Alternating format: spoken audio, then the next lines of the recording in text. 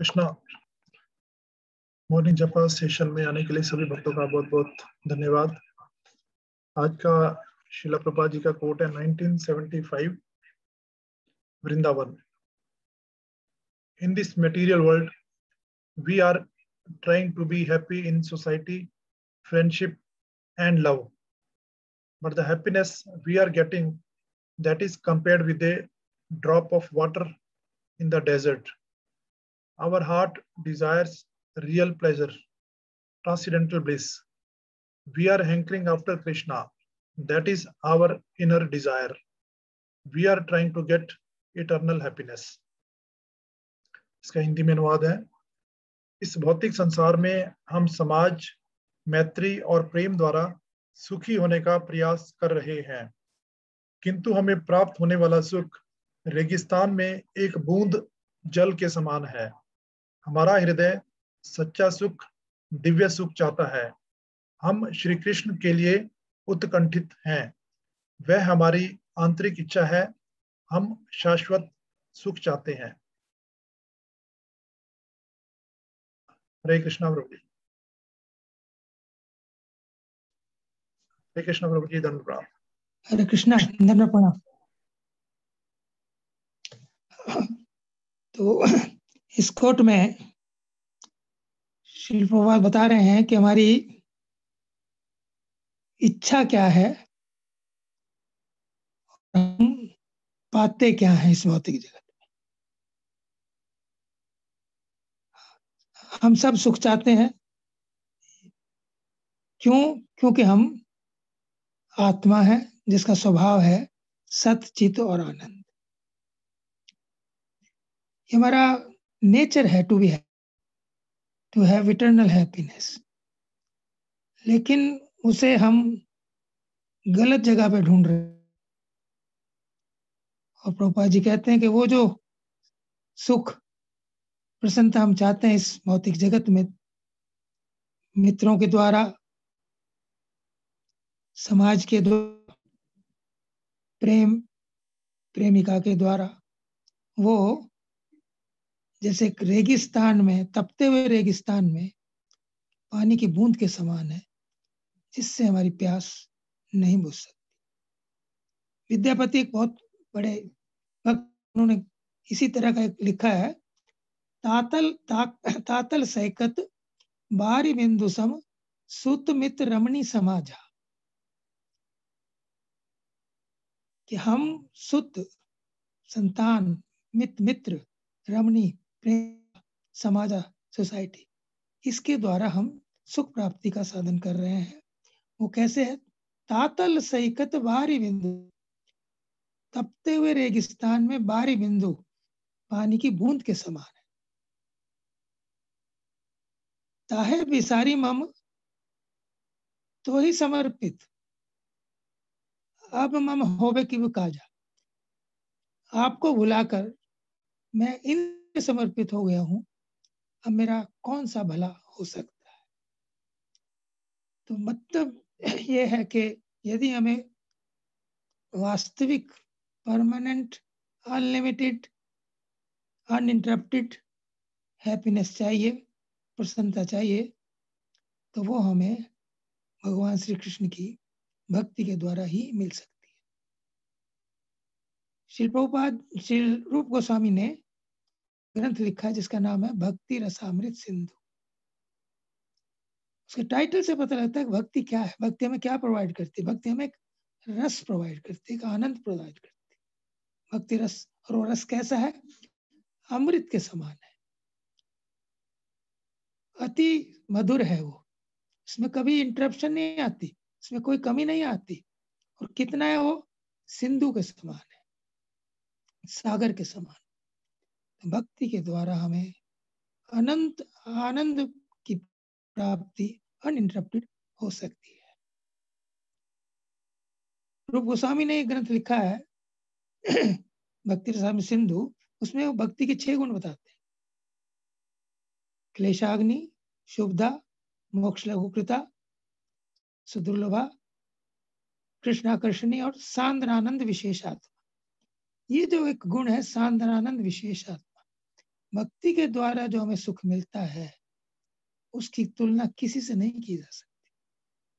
भौतिक जगत में हमें किस प्रकार के सुखों का अनुभव है? इस भौतिक जगत में हम सुख ढूंढते हैं। अच्छी मटेरियल पोजीशन धन, समाज, पुत्र इत्यादि से। इट इज़ वन लेकिन वो सब टेम्परेरी उससे हायर सुख है, स्वर्ग का सुख। वहाँ जीवन की अवधि बहुत है और कई प्रकार के अनेकों अनंत सुख है। लेकिन वहाँ भी लिमिटेड है। क्षीण पुण्य मृत लोके विशंति तो वहाँ भी जब हमारे पुण्य समाप्त हो जाते हैं तो हमें इस भौतिक जगत में वापस आना पड़ता है। पहला सुख हुआ इस भौतिक जगत का, दूसरा सुख हुआ स्वर्ग का, तीसरा सुख हुआ मोक्ष का। लेकिन मोक्ष का जो सुख है, वो जो भक्ति का जो सुख मिलता है वो सागर है और मोक्ष का जो सुख है उसकी एक बूंद के समान है। मोक्ष मतलब ब्रह्म ज्योति में समा जाना, वहाँ दुख नहीं है, लेकिन वहाँ वास्तविक आनंद नहीं है। तो इन तीनों से ऊपर, इन तीनों से अनंत गुना बढ़िया सुख भक्ति में मिलता है, जिसे सांद्रानंद विशेष आत्मा का तो भक्ति का जो सुख है, वो विशिष्ट सुख है मुक्ति मुक्ति, सिद्धि कामी, सकल अशांत, कृष्ण भक्त निष्काम अतः शांत मुक्ति जो भोग चाहता है, मुक्ति जो सायुज मुक्ति चाहता है, ब्रह्म ज्योति मिलना चाहता है, मुक्ति मुक्ति, सिद्धि जो अनेक प्रकार की सिद्धियाँ चाहते हैं। छोटे से छोटा बन जाना, बड़े से बड़ा बन जाना, हवा में से कुछ भी प्रकट उससे हमें बड़ा यश मिलता है, हमारी प्रसिद्धि होती है।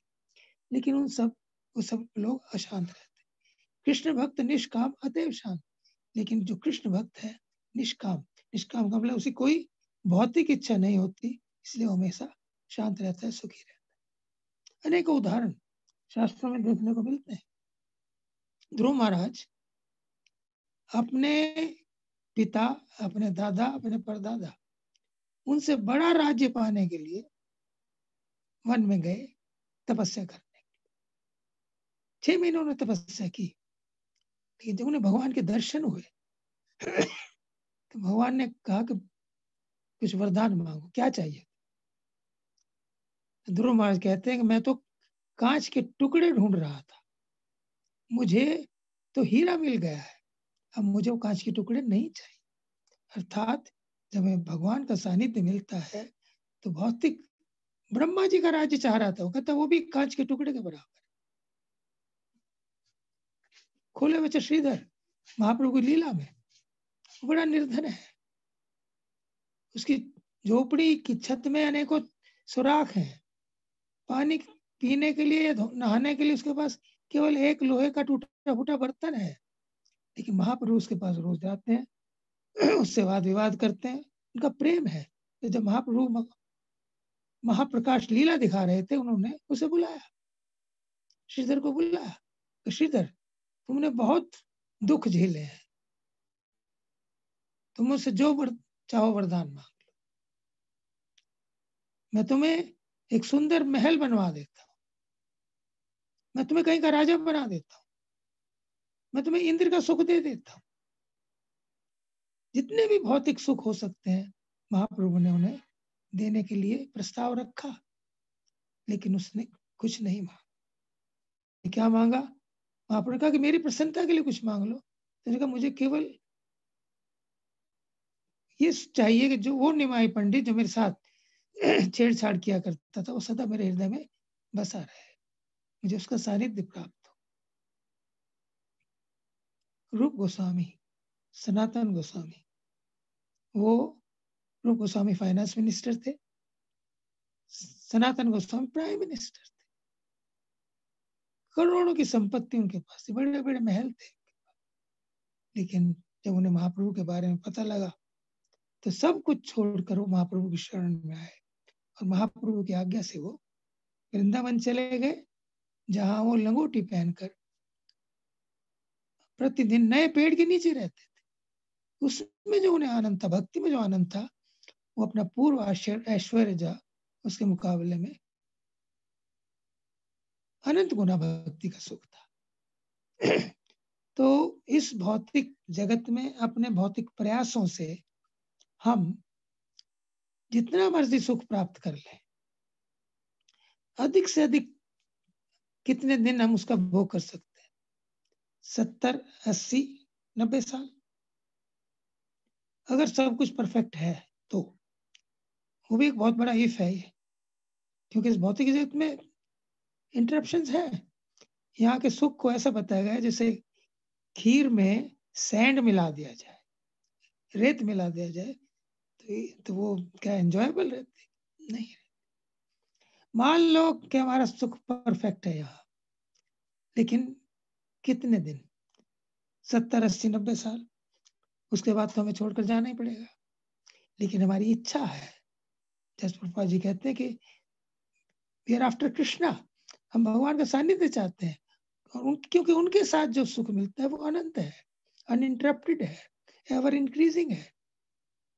तो यदि हम भक्ति करते हैं थोड़े से भौतिक प्रयासों को छोड़कर तो उससे जो आनंद मिलेगा वो अनलिमिटेड है सदा सदा के लिए इटरनल ब्लिस तो मैथमेटिकल कैलकुलेशन करके हम देखें एक तरफ़ अस्सी नब्बे साल का सुख है थोड़ा सा सुख है और दूसरी तरफ़ इटरनल सुख है, अनंत सुख है भक्ति के द्वारा। तो हमें कोई भी साधारण मैथमेटिक्स का स्टूडेंट जिसको थोड़ा भी पता हो naturally he will opt for the latter भक्ति के सुख के लिए। तो हमें कन्विंस होना चाहिए it's very important that we have conviction कि भक्ति के द्वारा जो हमें मिलेगा, वो किसी और साधन से, भौतिक प्रयासों से नहीं मिल सकता। इसलिए भौतिक सुविधाओं को प्राप्त करने के लिए हमारे जो प्रयास हैं, उन्हें हम लिमिटेड रखें। और जो टाइम बचे, उसे हम भक्ति के कार्य में लगाए। और हम पर बड़ी कृपा है, चैतन्य महाप्रभु की, आचार्यों की और हिज डिवाइन ग्रेस ऐसी भक्तियों स्वामी प्रभुपाद जी की।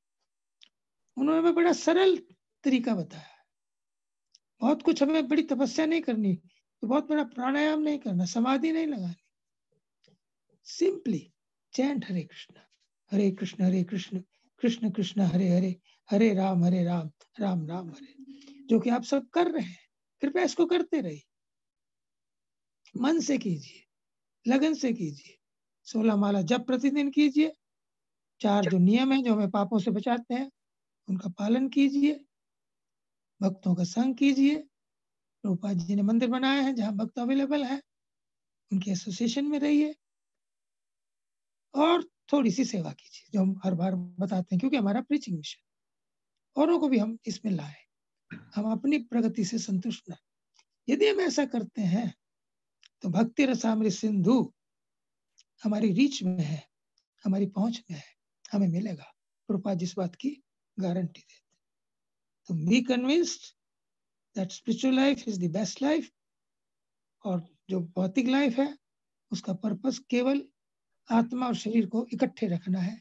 सिंपल लिविंग हाई थिंकिंग इस प्रिंसिपल को यदि हम मानते हैं प्रभा जी के बताए मार्ग को चलते हैं तो निश्चित रूप से हम अनंत आनंद की प्राप्ति, जो हमारा नेचर है, क्योंकि हम सच्चिदानंद हैं, उसकी प्राप्ति हम प्रभुपाद जी की कृपा से, वैष्णव की कृपा से कर सकते हैं। हरे कृष्ण, धन्यवाद। Thank you Hare Krishna Prabhu ji thank you very much आपने बहुत सुंदर बताया कि वास्तविक परम और सनातन इटर्नल हैप्पीनेस सिर्फ़ एक ही रास्ता है उसको प्राप्त करने का, और दैट इज़ भक्ति। अगर हम भक्ति कर सकते हैं तो इटर्नली हैप्पी रह सकते हैं। बहुत सुंदर आपने बताया। Thank you very much Prabhu ji.